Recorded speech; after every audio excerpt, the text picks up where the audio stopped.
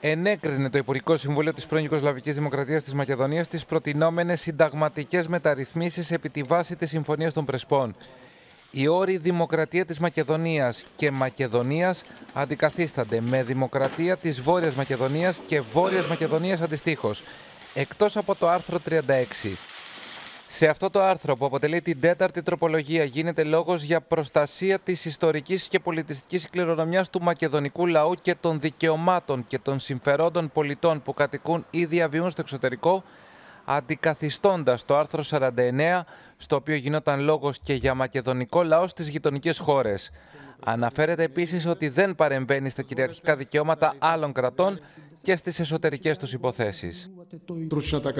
Εμπειρογνώμονες και ακαδημαϊκοί θεωρούν ότι οι προτινόμενες αλλαγές είναι σύμφωνες με το διεθνές δίκαιο και τα διεθνή πρότυπα σεβασμού των ανθρωπίνων δικαιωμάτων και ελευθεριών και ιδιαίτερα τα συμφέροντα της δημοκρατίας και την προοπτική ευρωατλαντικής ενσωμάτωσης, ένα βήμα εκ των οποίων ήταν και συμφωνία με την Ελλάδα.